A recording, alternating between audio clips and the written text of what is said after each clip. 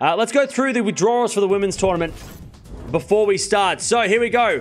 2021 US Open withdrawals for the WTA. We have Sofia Kenin. She is out of the of the US Open with COVID.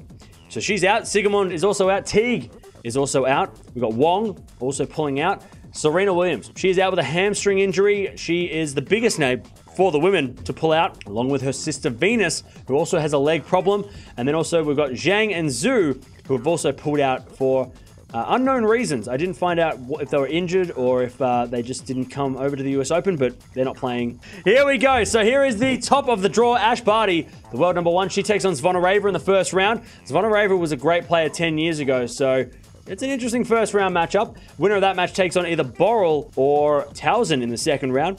Then we got Battle of the Americans with Roger versus Brengle. Winner of that match takes on either Kristaya or the 29th seed Kudermetova. Then we've got the 22nd seed Muchova versus Tormo in the first round. Circle that one as one to watch because they're both dangerous players and they could pose a problem because they've both beaten Barty on hard courts this year. Uh, winner of that match takes on either Shea or Lee, uh, Liu in the second round. Then we've got the wildcard Baptiste versus Zhang. Winner of that match takes on either the qualifier or number 13 seed Brady in the second round. Look, Barty's got an easy draw. Uh, like an easy first couple of rounds, let's say. But I've got to admit, fourth round is going to get dicey. Uh, we're going to watch out for Ash Barty, of course. World number one in great form. Clearly the best player on the planet at the moment. Uh, also got to keep an eye on Muchova. As I said, beat Naomi Osaka on clay and beat Ash Barty at the Australian Open earlier this year. So keep an eye on her. And also Brady, who made the Australian Open final, Got to keep an eye on her as well, especially because last year she made the US Open semifinals. Next part of the draw, we've got Bencic, the number 11 seed and the gold medalist at the Olympics. She takes on Rus in the first round. Winner of that match takes on either Trevisan or the wildcard Vandeweghe in the second round. Then we've got Doi versus the wildcard Sanders. Winner of that match takes on either Potapova or the 23rd seed Pegula in the second round. Then we've got the 28th seed Kontaveit versus Sam Stosur, former champion of this event in the first round. Uh, winner of that match takes on either a qualifier or Teichmann in the second round. Then we've got Ferro versus Abini. Winner of that match takes on either a qualifier or the number seven seed Swiatek. So, uh, look at the tough matches in this one, potentially as the rounds, as the seeds collide. Uh, got to watch out for Swiatek, obviously French Open champion of last year. Uh, hasn't got the consistency yet on the hard courts for me, but we'll see how she does at this event. She's got a pretty good draw in terms of the first couple of rounds.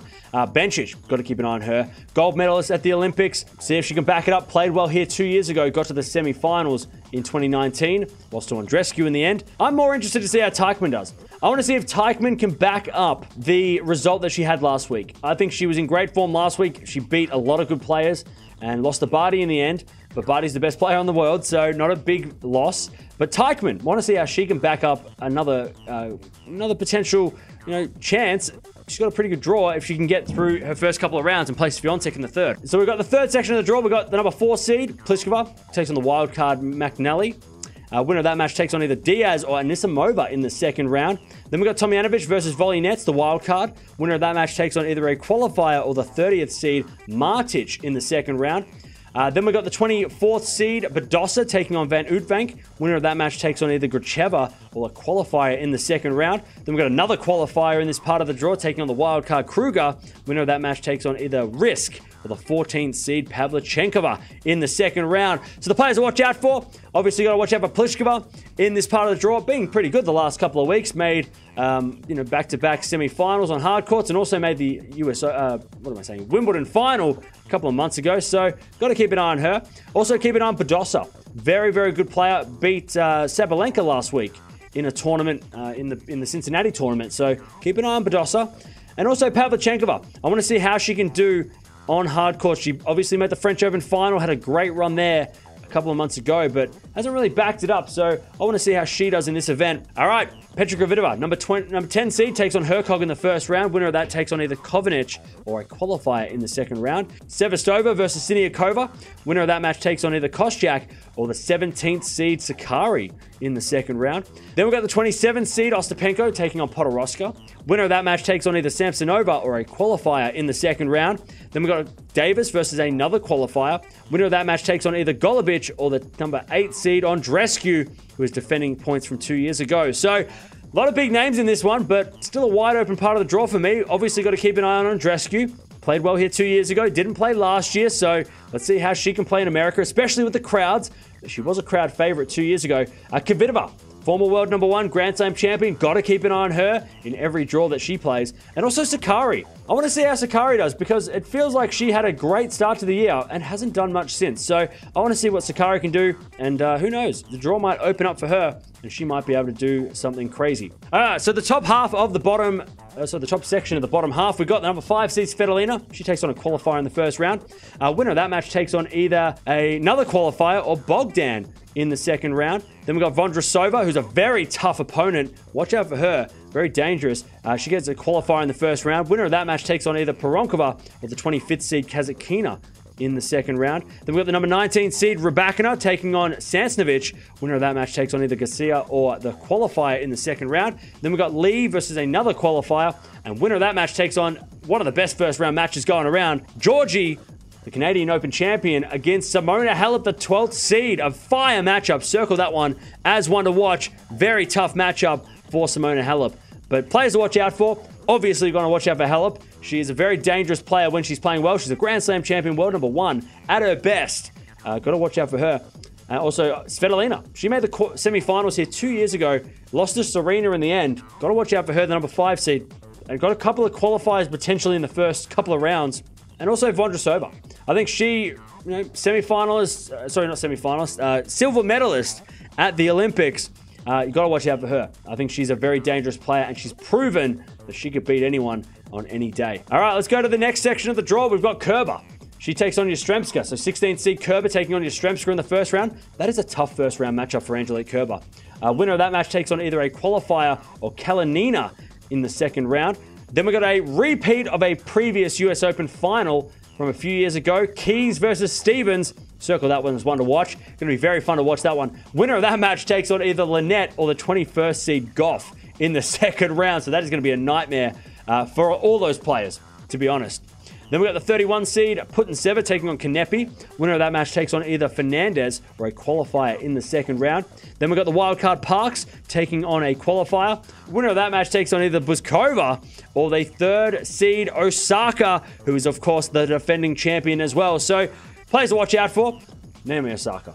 We're all watching out for her. Can she back it up and can she win another US Open? She's got two already. Can she go back to back in uh, consecutive years? Also, Angelique Kerber had a pretty good couple of months, made obviously the semi-finals of Wimbledon. Let's see if she can back it up on this court. And of course, Coco Gauff. Got to keep an eye on her, especially with the crowds coming back to New York. She's going to have a lot of crowd support, so keep an eye on Gauff during this tournament for sure.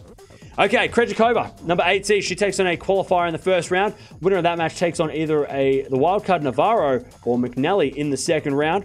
Battle of the Americans. Uh, winner. Uh, then we've got Mladenovic versus Konta. Winner of that match takes on either Irani or the 32nd seed Alexandrova in the second round.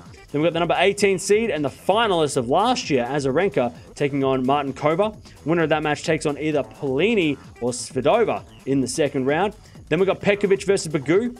Winner of that match takes on either Vekic or the number 9 seed Muguruza in the second round. So Players to watch out for Krejcikova, French Open champion. Got to watch out for her. Has proven that she can play on hard courts as well the last couple of months.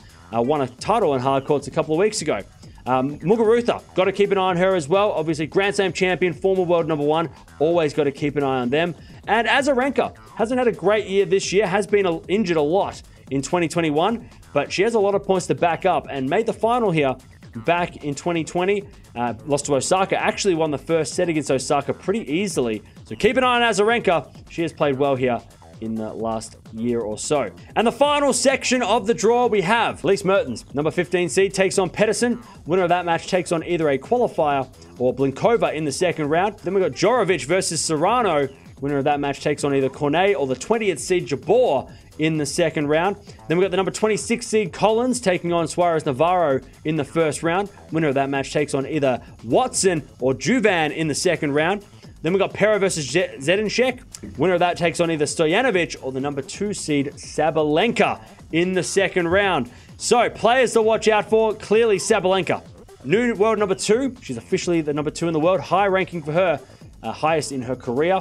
Uh, Got to watch out for her. Also, keep an eye on Collins. Had a very, very good couple of weeks. Won her first two titles, one on clay court, one on a hard court over the last couple of weeks, and beat Simona Halep a couple of weeks ago. So keep an eye on Danielle Collins. And, of course, Jabeur another player that is a very dangerous player. So got to keep an eye on her as well and has a pretty good draw. And who knows, she could take out Sabalenka in the fourth round if they do end up playing. Man, man, man. All right.